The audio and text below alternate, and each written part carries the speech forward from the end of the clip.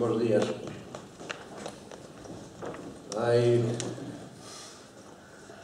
ben anos xa que Luis Silvia, o grande cantante portugués eh, antifascista e antisalazarista, exiliado en París, nos anos 60, escribira e cantaba unha canción que fixiu popularísima, non?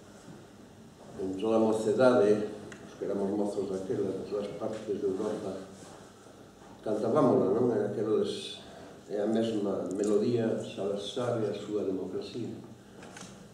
É cando desaparecido Salazar, constituído por Caetano, Siria simplemente engadiulle unha coda eh, que dicía eh, Caetano é a mesma porcaría, as moscas mudan só a merda non varía. O intento do regime salazarista para perdurar, sabemos o que durou, sabedes moi ben. Ou supoño que sabedes moi ben, porque ainda que moitos e moitas sodes moi novos, pois coñecedes a historia dos comenzos dos anos 70 en Portugal, onde se produciu o fenómeno que deu lugar en gran medida a que a crema democrática no Estado español fose freada polos poderes do Departamento de Estado americano a SPD alemana e así sucesivamente porque non se podía permitir unha península ibérica roja aplicábase, por lo tanto, internacionalmente aquela famosa sentencia de José Calvo Sotelo, que ben coñecida de que prefiero unha España roja a unha España rota, pois nin a unha nin a outra. Pero agora precisamente o problema é España rota. Eh, evidentemente que máis ten un Borbón que outro.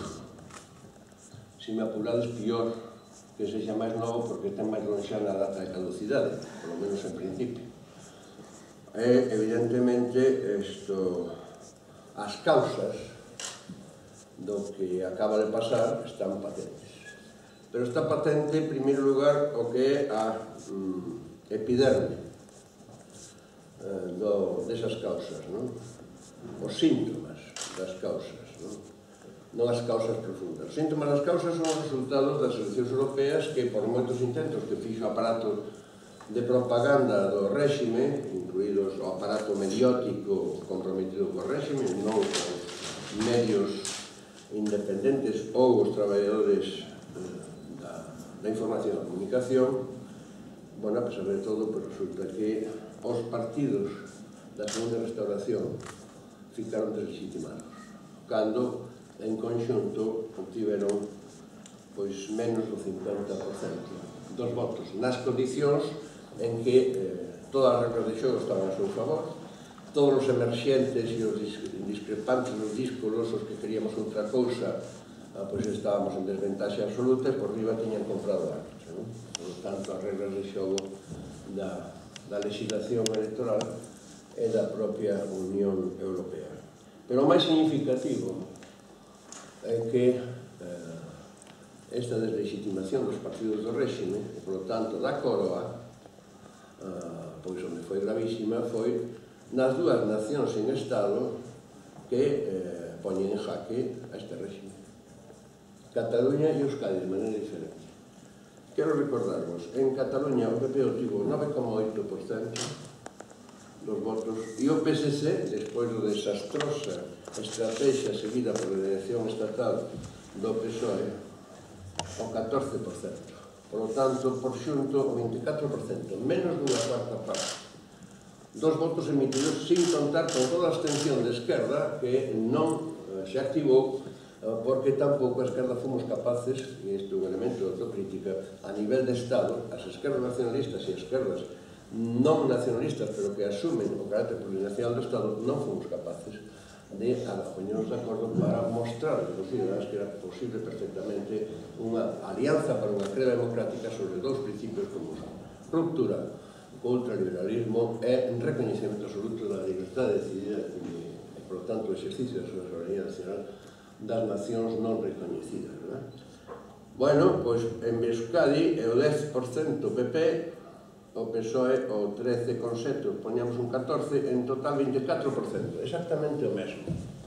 Nestas condicións é evidente que o proceso independentista catalán cobra unha forza brutal porque ao, ao ficar nesta situación os partidos da coroa, pois, que fica descalificada a coroa. Entón o que intentan é un golpe de mano un golpe de man, eh, a rei muerto, rei puesto, non? Decías. Bueno, é moi curioso tamén nos libros de Cataches de que uh, a morte de Adolfo Suárez non? parece que arrastrou Adolfo Suárez na súa caída definitiva dende a semi-inconsciencia da súa tráxica enfermedade de Alzheimer, o perda de conciencia, arrastrou ao monarca que traicionou no seu momento, porque un mes despois tamén morreu, só que políticamente de momento. Pero eh, o golpe de man consiste en aplicar a teoría Felipe González. Eu non sei se a sucesión o relevo de Juan Carlos vai ser por Felipe Borbón ou por Felipe González, pero máis ou menos será por estilo.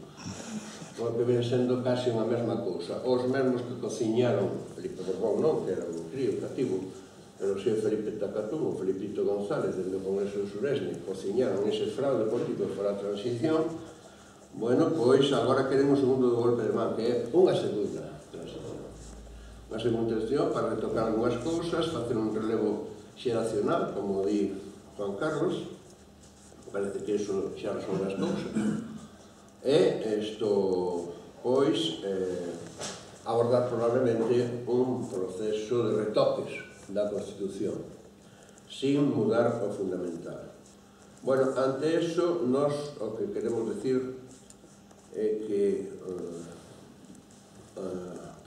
felicitámonos en conxunto con toda a ciudadanía que está farta deste réxime pobre, que está farta destes gobernos que gobernan contra as medidas sociais, que está farta de que nos reconvirtan en súditos ou en esclavos, que está farta desa caste política, como dixen hai moito tempo, mal chamada clase política que é unha caste, bueno, pois, eh, eh, que efectivamente pola propia acción da cidadanía consciente tanto das súas mobilizacións de todos estes tempos canto do seu comportamento de voto mayoritario bueno, pois que dan lugar a que eh, ese, o réxime da segunda restauración orgánica eh, recibe un torpedo da Santa Bárbara.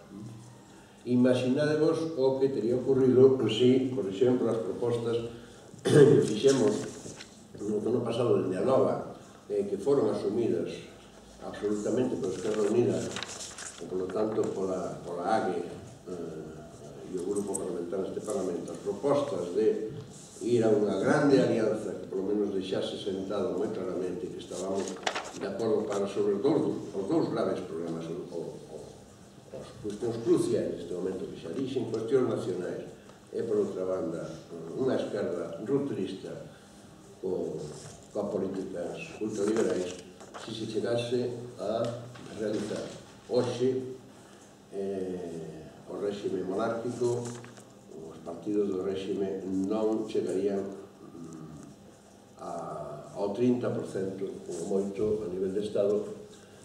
Ou se cadra incluso pois tiñan aproximadamente as porcentaxes ridículas que eh, tuveron en Cataluña os cari, por lo tanto menos dun de cada catro votos dos cidadáns. O que compre facer agora é aprender desta elección inmediatamente. Debíamos ternos adiantado. Debíamos ter adiantado. E non dar esa ocasión de que ante esta situación pegasen este intento de golpe de mano unha segunda transición para lavar a fachada, etc. etc. Estamos en, no momento en que temos que demostrar que aqueles que son objetivos primordiais asumidos en conxunto eh, son os que nos van eh, unir para unha unidade de acción prolongada para unha crea democrática, combinando combinando a acción para a crea democrática no evento cívico que ten que ser protagonizado pola cidadanía como foi nos anos 70 no tardo franquismo Eh, co a, a, o ortellamento e a coordinación de todas as forzas políticas realmente democráticas, xa non digo só de esquerdas, realmente democráticas e antifascistas e anti, por lo tanto, un regime tiránico como é este, este da Reino de España actual a pro de restablecer realmente unha democracia, sí que sexa unha democracia no pleno sentido da palabra, e que, ademais, sexa un regime republicano eh, que asuma uh, que hai varios suxetos políticos soberanos no ámbito do Estado español e que todo pasa por aí. Unha creva coa, coa troika é unha é un proceso cara unha constitución republicana na que cada un dos povos decida se si participa neso ou se si viaxa na historia por a súa conta independentemente. Eh, pois que de momento pois non, non teño máis que decir nesta miña comparecencia en urxencia porque eh, inmediatamente reunirase naturalmente os órganos de elección tanto da Nova como de, de Esquerda Unida e tamén o conxunto da alternativa galega tanto no Parlamento de Galicia como en Europa para teñamos eh, en común as nosas diagnoses e eh, eh deseñarmos un plan de traballo de acción e de relación as demais eh, forzas políticas que teña por labor do que acabo de expresar. Nada máis, moitas gracias, se queredes alguna pregunta